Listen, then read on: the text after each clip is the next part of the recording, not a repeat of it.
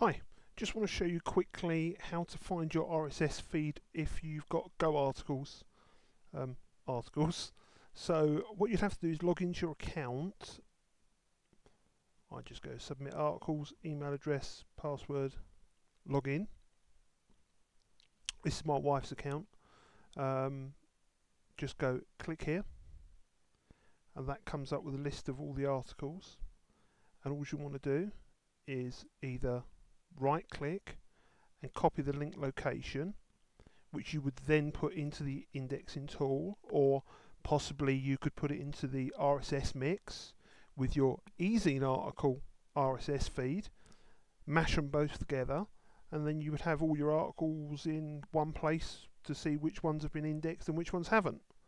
Um, or you can just and there you go you've got it up here. So this bit here this is the RSS feed. And you would just put that into your indexing, into the indexing tool. And uh, it will go off and check what's what, as it were, see which ones are indexed and which ones aren't. Okay, nice little short video there. Um, we've already put up ones for ezine articles, how to find the RSS feed, and how to use RSS Mix, which I think is a really good idea um, that you can put all your feeds in there together.